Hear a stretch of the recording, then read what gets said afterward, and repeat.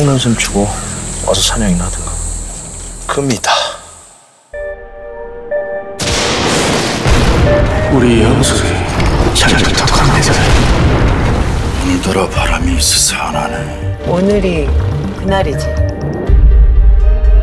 유령밖에 없어, 저긴.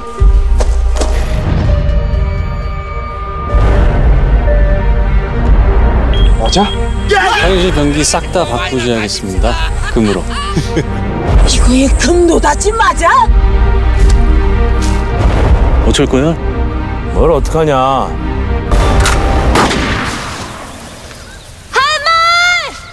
지금부터 진짜 사냥 한번 해볼까? 영감님! 이걸 영감 옆에다 두라고.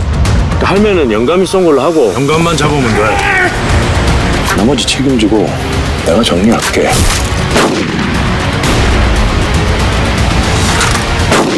정덕군 미쳐야지. 대체 오늘이 어떤 날인 줄 알아? 아, 오늘은 뭔가.